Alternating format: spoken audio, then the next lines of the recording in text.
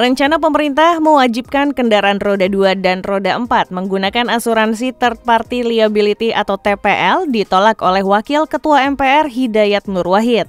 Menurutnya, aturan tersebut akan memberatkan masyarakat.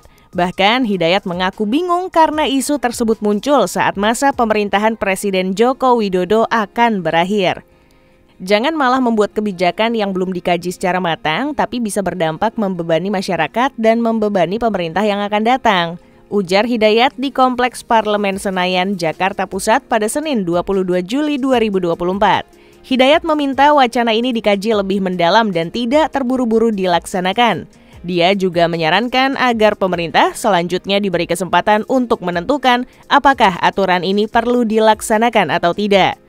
Adapun Asosiasi Asuransi Umum Indonesia atau AAUI mengusulkan pembayaran iuran asuransi wajib untuk produk TPL bagi mobil dan motor, baik kendaraan konvensional maupun listrik.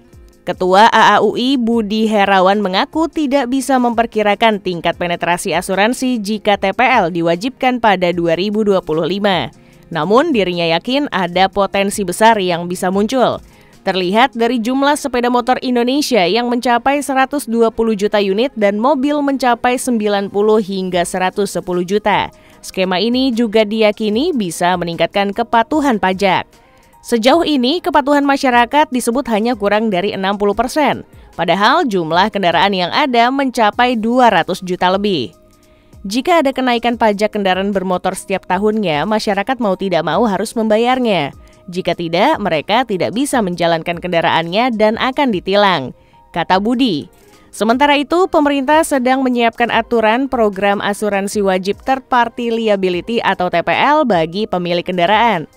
Kepala Eksekutif Pengawas Perasuransian, Penjaminan dan Dana Pensiun Otoritas Jasa Keuangan atau OJK, Ogi Prastomiono, mengatakan program ini masih menunggu terbitnya peraturan pemerintah atau PP.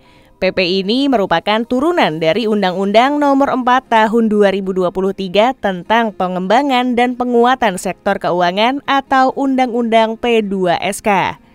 Melalui belait itu, pemerintah dapat membentuk program asuransi wajib sesuai dengan kebutuhan termasuk TPL terkait kecelakaan lalu lintas, asuransi kebakaran, dan asuransi rumah tinggal terhadap risiko bencana. Dalam persiapannya tentu diperlukan kajian mendalam, terlebih dahulu mengenai program asuransi wajib yang dibutuhkan. Kata Ogi dalam keterangan tertulis pada Kamis 18 Juli 2024.